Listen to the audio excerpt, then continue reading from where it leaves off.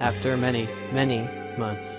Hi guys, welcome to another video and today I thought, as I haven't made a video in a while, why not make a video that a lot of you seem to watch. They are my how to download Plotagon videos.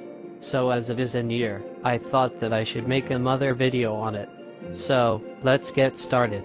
Firstly, you need to open up your web browser.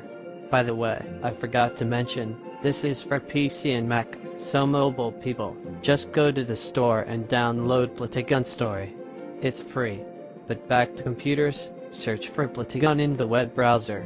Open at the web page and select the download tab. Press the story button and download the installer for your device. Run the installer.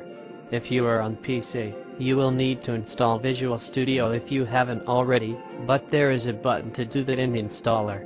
Press install and let it install both Visual Studio and Plotagon. You're done. Hope you enjoyed this video leave a like if it was useful to you, subscribe if you haven't already, or follow if you are watching this on Plotagon. I'll see you in the next one.